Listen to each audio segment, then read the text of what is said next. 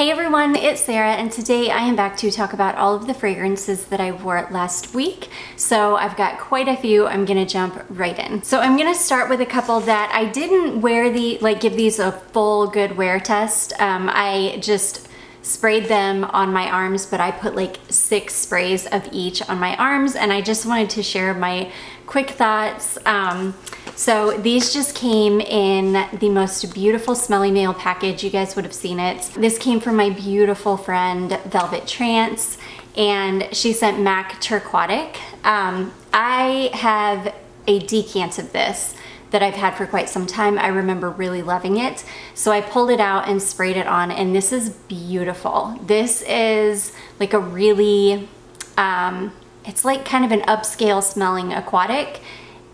I really enjoyed this one. This, it actually smells really, really good on my skin and um, I've had really good luck. I just have really good luck with aquatic scents. I don't love aquatic scents a ton, but I have very good luck with them and some of them um, the ones that I do love, like Cool Water for Women, Polo Sport for Women, um, the ones that I used to wear like in high school, I still absolutely adore. And this reminds me of something that I would have worn in high school, but it smells more expensive. Um, I don't know, I really love this. So I'm going to, um, I'll put this away until springtime and then as soon as it starts to warm, um, not that it's not still warm here, but um, yeah, I might wear it. I might actually give, well, we'll see. I may pull this out and wear it before it officially gets cold, or I may just put this one away until spring and then pull it out when I'm really ready for kind of fresher scents. Um, but it's stunning. I love it. It's one of the best aquatic scents that I've smelled. I really enjoyed this one. So that is MAC Turquatic. And I'm just keeping them in their boxes because um, they're special to me. And then the other one that I, that I tested on my other arm at the same time, that's another thing. I wanted to see if they were similar to each other, um, is this one here. This is Salvador Dali, Dali style. And I love Salvador Dali fragrances. I think that they're incredibly underrated and I adore them. This one, it went through a phase. So when I very first sprayed it, it just smelled like a really beautiful, fresh kind of um, little bit sharp aquatic. But then after about two or three minutes of it starting to dry down on me, it started to smell exactly like Ralph Lauren Polo Sport. Um, now it doesn't stay that way because this is gonna take you on a journey. It's not linear at all. Um, so the the Polo Sport Woman phase hung around for, I don't know, maybe about 10 minutes. And then it dried down to the most beautiful, clean, slightly sweet, um, almost kind of laundry type aquatic. It's another one that I am just gonna love in the spring and summer. It reminds me of something that I wore in high school, so I will absolutely adore this. And the bottle, this bottle is so beautiful. Um, I'm just gonna pull it out and show you really quickly. Salvador Dali bottles are, they're just stunning. So it's just so, so pretty. I love it. So anyways, that is Salvador Dali, Dali style. Okay, next, I knew I wanted to get one more wear in of my Bath & Body Works Watermelon Mojito while it's still warm out. Um, this is watermelon soda, pink rum, and cane sugar. This is absolutely gorgeous. This is like a sweet but fresh watermelon and when this dries down you lose most of the watermelon but you, it stays I don't know it kind of dries down to this just sweet clean warm scent on your skin. Um, so I put on the lotion and then I also used my body spray. Um, this doesn't last very long. I can get maybe I think I got maybe three-ish hours out of this or so. Um, not the worst but definitely not the best but I love this scent. I think it's beautiful. I also really want to use this up before it goes bad because I'm really bad about buying these lotions, using them once or twice, and then by the time I come back around to them, they've gone off. And I don't want that to happen with this one because it's such a beautiful scent. But yeah, I enjoyed that for a few hours. That is Bath & Body Works Watermelon Mojito. We had a day that only got up to, I think maybe 72 degrees or something. It was kind of, it was like downright chilly for me. But on that day, I knew I wanted to pull out one of my CJ scents because I'm just craving these so badly. I'm going through a phase where this is all I want to smell like. I want to smell like a pumpkin cupcake or something. Um, so this is CJ Scents Boo and oh my gosh, I love this. To me, this does smell kind of like a pumpkin cupcake, but it's spicy. It's like a really creamy, really spicy, really long lasting pumpkin scent. It's amazing. It's and the pumpkin and these scents to me it smells more like a pumpkin puree and I love it. It's they're so amazing. These are some of the longest lasting indie scents I've ever used. These are hands down some of my favorite indie scents in my collection. They just they perform so incredibly well and they're so cozy and so comforting and everything that I've smelled from this house has just been amazing. Um, the only two full bottles I have though are Boo and then Pumpkin Tobacco, but I'm definitely going to be ordering some more this fall because I just love her scents. They're so good and they, this is an absolute beast. Like you're gonna smell like this for 24 hours. If you spray this on, you're gonna smell like this all day. It's just, it's such an amazing scent. So anyways, that is CJ Scents Boo. Okay, next I wore this beauty. This was sent over from my beautiful friend Jacqueline. This is from Al Rehab and this is called French Coffee. I did do a little research to see if I could find an oil and they do make the oil version of this. So I'm going to, um, I'm gonna see if I can pick up the oil so that I can layer the spray perfume over it. I love this scent. This is, oh my gosh. This is just creamy coffee. Creamy, slightly sweet coffee. I absolutely love this. In fact, this week I'm going to test this. I'm gonna test layering this with black opium to see how that goes. Um, I layered this over this lotion here. This is the EOS um, Vanilla Cashmere Lotion. I absolutely adore this lotion. I think this is my favorite. Yeah, this is one of my favorite lotions that I have in my collection right now. Um, I wear this so often. I also love that it's a clean lotion, so it is paraben and phthalate free. Yeah, it's a pretty, it's a pretty darn clean lotion and I love that. Layered, oh my gosh, it was delicious. You get the warm cupcake cupcakey vanilla from the lotion and then the creamy the creamy sweet coffee layered together it was delicious and um, I think I got about three or four hours out of this. I did end up reapplying the perfume and when I reapplied it, it got like really, really strong because it's one of those fragrance that seems like it kind of layers on itself. So the more you reapply it, like the stronger it's gonna get. Um, so yeah, I love this. It's such an inexpensive perfume. I also saw, I think, I think I, I'm pretty sure I saw that they have the Choco Musk spray on Triple Traders for $4.99. I need to go ahead and pick that one back up because yeah, that was a swap gone wrong. I sent mine off. The other person never sent anything off to me. I think I sent her three bottles of perfume too. and she never sent anything back. But anyways, yeah, so I need to replace that. Um, this is such a good one. I love it. If you're looking for a good, inexpensive coffee fragrance, this is it. So anyways, that is Al Rehab French Coffee. Okay, next I'm gonna do a full video on this one, but um, but I, I did give it, I wore this twice last week, so I do definitely want to talk about it. Um, this is Burberry Goddess. So Burberry so kindly sent this over to me, and I am so happy because I had been hearing so many good things about this. I knew it was a vanilla fragrance. Oh my gosh, I had it in my Ulta cart when they contacted me and I was super, super excited to be getting this. This, I have seen this compared to a lot of things, mostly Mon Guerlain. Um, this is not Mon Guerlain, you guys, not at all. You, you do get a little bit of the lavender and you do get it uh, for a little tiny bit when you spray it on, but this dries down to the most beautiful, warm, pretty simple vanilla.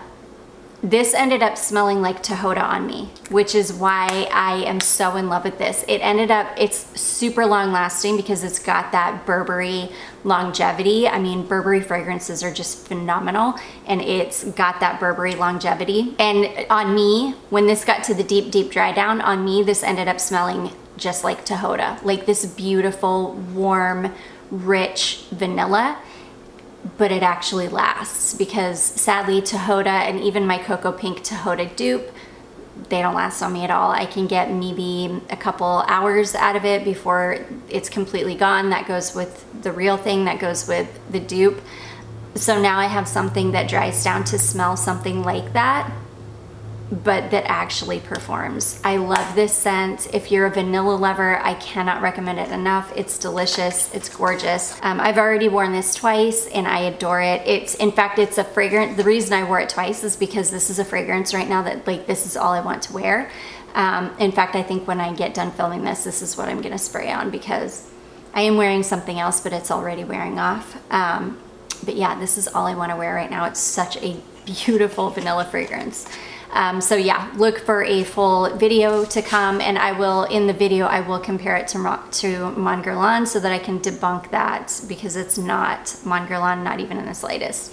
Um, so anyways, that is Burberry Goddess. Okay, next I wore another beauty that uh, Velvet sent me. This is Kismet Angel from, from Maison Alhambra. Um, I'm keeping all of the fragrances that she sent me with the notes in their boxes because they're so special.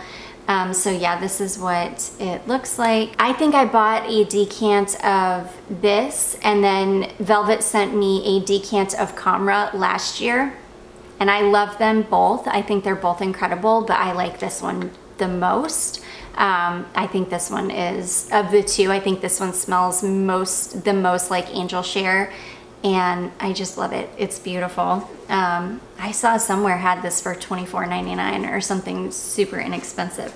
Um, I did wear this to bed, so, and I couldn't smell it when I woke up the next morning, so I'm not sure about the longevity of this one. I have a feeling though that the longer this one sits, the better it's gonna get. So, um, but I love it. I can layer this under my Dua dupe and I think the combination is going to be very long lasting and super beautiful. Um, I love Angel Share and I love this one so much too.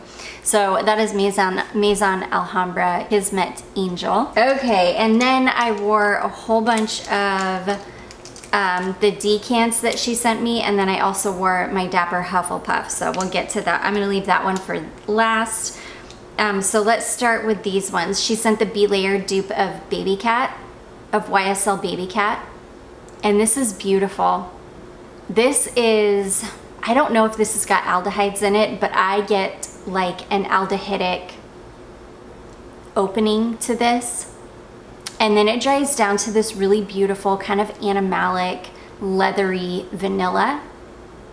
But the leather is super, super smooth and it does have a touch of like an animalic quality to it. Um, almost, this is gonna sound disgusting, but almost like it's a fresh piece of leather, like fresh off the animal kind of thing. And then mixed with vanilla. I really like it. I don't think that this would be for everybody for sure, but I've got a couple different um, dupes of this now and I really, I've got three actually. I've got this one, I've got the genre dupe, and then um, I've got another one, I think it's Paris Corner, made a dupe, and they're all three beautiful. So yeah, this one lasts a really long time. I think I got a good five or six hours out of this. Um, I wore it in pretty high heat too, so it held up really well for um, the hot weather. I can't wait to test this in cold weather. So that is the first one that is Be-Layered, the dupe of Baby Cat. This next one, this is only two came with the labels where the, the perfume had bled or where something leaked and the labels bled. I'm gonna have to find out what this is because I am absolutely in love with this. I honestly don't even know how to describe it either. I'm gonna have to get with Velvet and she'll, I'm sure. Oh my gosh. I'm sure she'll be able to figure out which one this is. This is kind of light. It's a little bit powdery. It's a little bit floral. It's really warm smelling. It's clean. It's sweet. She might be able to figure out just by my description. It's gorgeous. It's sweet and almost teetering on like gourmand, but it's maybe a little bit too clean and floral to be a gourmand. I have no idea what it is, but I love it and I have to know what it is because I need a bottle of this. It is fantastic. I wore this um, in the evening. I think I, I sprayed it on at about five and I wore it until, and I could smell this until the next day. I wore it like I wore it to bed and everything. I could smell it even the next day. I love this. I don't know what it is and I've never really smelled anything like it before so it could be a dupe of something that I've just never smelled. But I'm obsessed with it. I love it. I love it so much. I'm gonna keep this out because I need to remember to, um, I need to remember to ask her. And the, the liquid is either clear or maybe like a really light pink or a really light purple. Yeah, I don't know. I love it. It's so good. When I find out though, I will be the first to tell you guys because it is such a good one. Uh, and then I wore this one. This is Lattafa Ansaam Gold. This is another one I'm gonna need a full bottle of. I think it's supposed to be a dupe of um, Kilian Love Don't Be Shy but this smells more like Armani Si Fiori than it does Love Don't Be Shy. It's like really heavy on the black currant aspect and less orange blossom and marshmallow. So you, it's more of like a Si Fiori dupe and I love it. It's not quite as syrupy as like Oriana or Love Don't Be Shy. It's more black curranty the way that Si Fiori, if I'm remembering correctly. It's either blackcurrant or some other berry that's in Si Fiori. I think it's blackcurrant. But it, this is so good and this is an absolute monster of a fragrance. Um, this lasts, like Si Fiori doesn't last on me at all. I can get maybe a couple hours out of that this one or out of that one. This one I got a good 12 hours out of. Like it lasted forever. I am obsessed with this. I saw this on Triple Traders too. They have it on Triple Traders for I think I think $30, $29.99 or maybe $39.99. I don't know. It's worth it. Whatever it is, it's worth it. It's so good. I love this one. So this is Lattafa Ansaam Gold. If you love Si Fiori, oh, you have to smell that one. Okay, and then the last one, the last decant I wore that she sent is Lattafa Eternal Oud. And I believe this is the one that is a dupe for Maison Francis Kurkdjian uh, Grand Soir. And I love this. This is beautiful. I have Crater, which is the Dua dupe of Grand Soir, and it leans a little too masculine for me. This is perfect though. This doesn't lean too masculine. This is perfectly unisex. This would smell amazing on a man or a woman or anybody. I love it. It's like a, it's an amber, but it's sweet and a little bit spiced.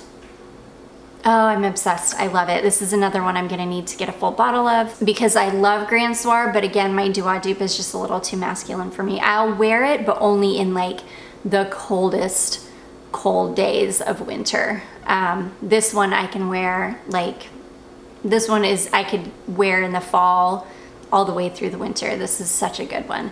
So that is Lattafa Eternal Oud.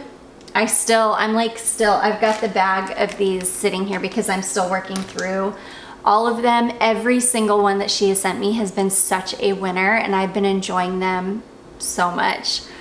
Okay, and then last but not least, this is from Susan. She sent me the Dapper dupe of Minnie Mouse and this one here, Hufflepuff. So when I very first got this, I sprayed it on my hand and it seemed like it wore, I think it did wear off very quickly. Um, I don't know that your hand is probably is probably the best place to um, test perfume. I always have much better luck like on my arms, but I wanted to test them both. So I sprayed Minnie Mouse on one hand and Hufflepuff on the other. The Minnie Mouse was not it. And like I would stick with the genre dupe of that. This one, however, though, I've completely 180'd with this one. I've 100% changed my mind. Um, this is beautiful. Once, once I actually got this all over and I really oversprayed. This was a full decant and I used a good mill and a half of this in one go. So I really oversprayed, probably 10, 12 sprays. Um, once I did that and I got it all over skin, all over clothing, it was phenomenal. It smells exactly like Hufflepuff to me um, on my skin and on my clothing. And on it didn't, I, I wanna say I got maybe five or six hours out of it on skin, but I could smell this on my clothes forever, 12 plus hours probably. Um, so this is actually not bad. I would, I haven't smelled the genre dupe yet and I am going to say that the genre is probably gonna be better than this. Um, genre can be really difficult to get a hold of though. And so if you, you know, if you want to get a dupe of this and you, you just want to get it, this is not a bad one at all. This is actually really nice. I would 100% buy a bottle of this after I had tested it. Um, this is a little bit heavy on the peach and I'm not the hugest fan of peach, but I don't know, it's not bad. I don't, I really enjoyed it. I ended up really, really enjoying this one. So I'm glad that I went back to it. I'm gonna go back with the Minnie Mouse too, and I'm gonna give that one a good full wear test um, as well because I might change my mind, but I already know that the genre dupe for that one is better. Um, but this one's not bad, not bad at all. So that is the Dapper Hufflepuff dupe. And that is gonna be it guys. Those are all of the fragrances that I wore last week. I do hope that you all enjoyed this. If you did, don't forget to give it a big thumbs up. Don't forget to subscribe before you leave and I will see you in my next one. Bye.